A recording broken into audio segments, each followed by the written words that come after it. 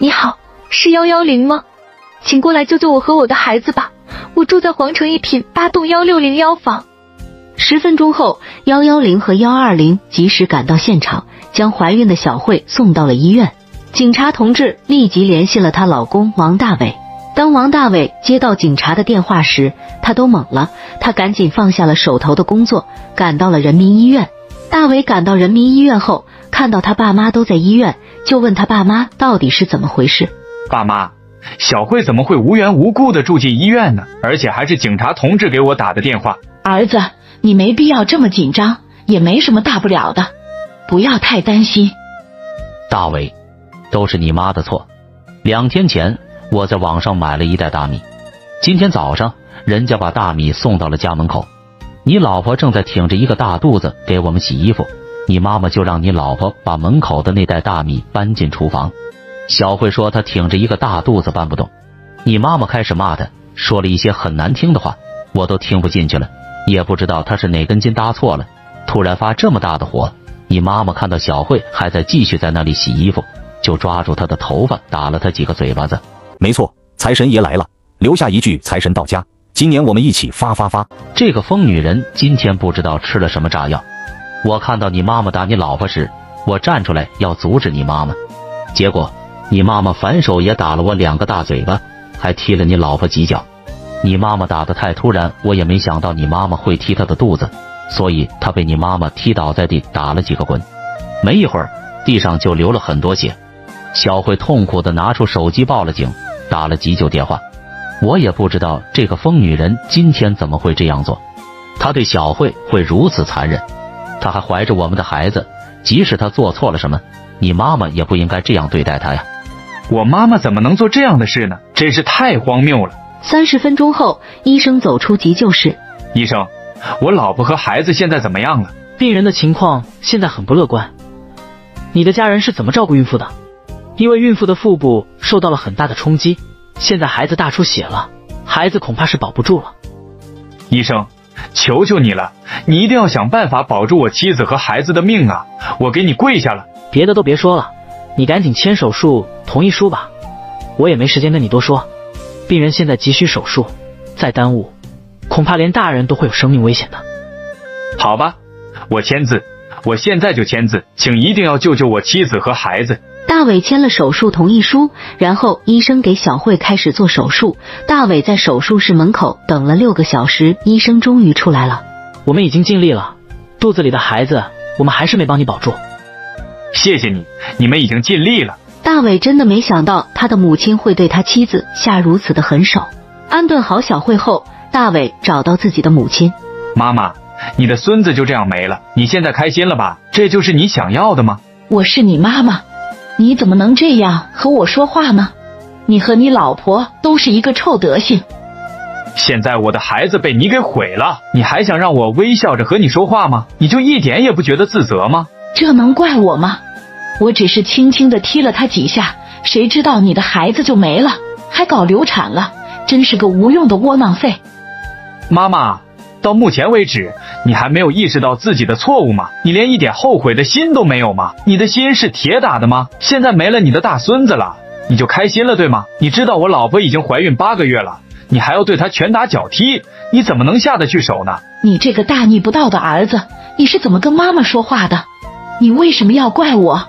我告诉的你已经很清楚了，我只是轻轻的踢了他几脚，是因为我踢了他几脚就会流产吗？你有没有想过会是他自己的身体问题？你怎么能怪我呀？谁叫他不乖乖听我的话，还跟我对着干？我就是想给他一点教训。在我们家还轮到他说话？我想做什么就得做什么。我是一家之主，只要我在这个家，我就有最终决定权。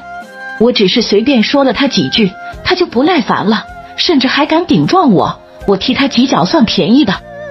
退一万步说。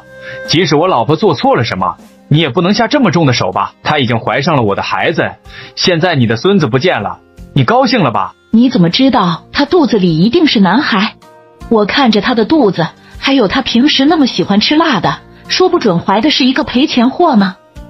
无论小辉肚子里有男孩还是女孩，那都是我们老王家的骨肉，也是你的孙子和孙女。小辉到底犯什么错了？竟然让你把她非要打流产才算啊！你为什么要这么做？你这样欺负我老婆，你竟然还这么自信的说这不是你的错？你真的一点悔过的心都没有吗？大伟，你赶紧闭上你的臭嘴巴！现在站在你面前的是生你养你的妈妈，你怎么能这样对待你的母亲呢？只是一个生孩子，有什么伟大的？听你说这话的意思，感觉就像天要塌下来一样。我没有那么多空闲时间在这里听你问罪，我要回家了。你自己在医院照顾你的好妻子吧。我一看到你们夫妻俩，我就来气。就这样，小慧被婆婆打到流产的事就慢慢过去了。时间过得很快，四年就过去了。婆婆突发脑出血，情况十分不乐观，急需手术。于是公公立即打电话给儿媳：“媳妇，我们家出大事了。”爸爸家里出什么事了？别着急，慢慢和我说。你妈妈刚突发脑出血，现在正躺在医院抢救呢，你赶紧来人民医院吧。爸爸，你怎么能说这样的话呢？你对我有意见吗？为什么要诅咒我妈妈？我妈妈现在帮我在家照顾孩子，以后请不要这样说话。媳妇，你误会了我，我说的不是你妈，是你婆婆。今天早上她突发脑出血，现在正在医院里抢救，医生说你婆婆的情况十分不乐观。你还是赶紧过来吧，我自己也不知道怎么办了。哦，原来是婆婆那个恶人啊，那就先等会吧，我现在还有急事要忙，等我忙完了再说吧。如今你婆婆生死攸关，你先把手头的工作放放吧，能不能把她的命救回来，还是个未知数呢。媳妇，医生刚才告诉我，你婆婆的手术费可能要二十五万左右，你赶紧把钱拿过来，带着钱来医院伺候她吧。爸爸，你脑子又没坏？你让我现在去哪里给你拿二十五万啊？别说二十五万了，我现在就连二十五块钱我都没有。在找你之前，我已经给大伟打电话了，但他的电话一直没人接。小慧，爸爸知道你这些年在我们家受了很多的委屈，但现在是你婆婆生死攸关的时候，你也是有孩子的人了，你就不要和她一般见识了，带着钱来医院吧。爸爸，既然你这么说，我就实话实说吧。我现在真的没有那么多钱，我每天也很忙。我希望你能从我的角度理解我。小慧，你能眼睁睁的看着你婆婆躺在病床上不救她吗？不管怎样，我们都是一家人，你就把你婆婆过去对你做过的那些事放在一边吧。现在最重要的是救你婆婆的命要紧呢。